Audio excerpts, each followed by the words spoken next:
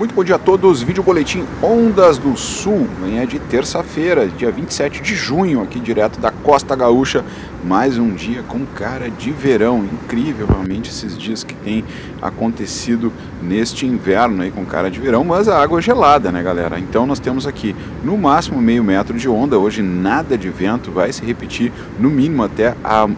até o meio-dia de amanhã, nós temos aí frente fria já chegando e as ondula, a ondulação também deverá reagir a partir de amanhã, do meio-dia de amanhã. Nós temos já a previsão de virada de tempo para a partir de quarta-feira também com a chegada do frio. Hoje então as imagens aí, como vocês podem ver, aquela direitinha rolando em frente à Guarita, aqui no meio da praia de Tramandaí, em frente ao Parador Ondas do Sul, Malvininha também rolando, maré agora seca, à medida que a maré vai subindo no decorrer da manhã, as condições irão melhorar ainda mais. Temperatura da água em 17 graus, boa para um long john que tu encontra aqui no Parador Ondas do Sul em 12 vezes sem juros, a única loja que aceita tua roupa ainda no negócio para tu fazer a compra da roupa nova.